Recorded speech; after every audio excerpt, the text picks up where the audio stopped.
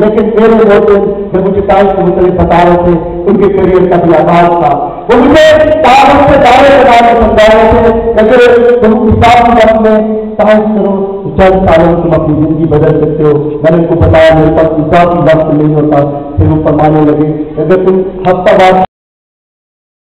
सालों में ज़िंदगी में बड़ी तब्दीलियाँ बरपा हो सकती हैं। फिर उस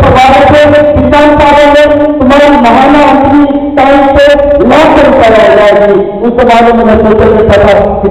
साल की उम्र में एम से रिटायर हुआ तो ने मुझे सब लाख को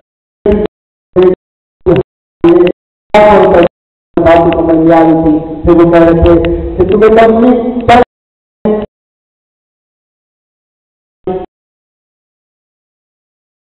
मेहनत मशक्कत कर रहा था चौदह साल की मेहनत